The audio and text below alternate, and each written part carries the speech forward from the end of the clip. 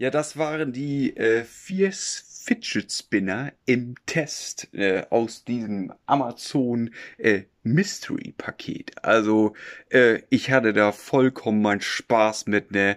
Leute, für 10 Euro äh, macht euch den Spaß. Ne? Könnt ihr ruhig bestellen. Äh, ich habe jetzt meins für 8 Euro und noch ein paar zerquetschte, obwohl ich 10 Euro bezahlt habe.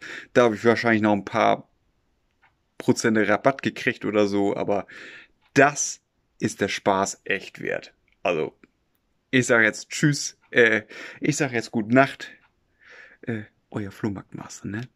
Tschüss.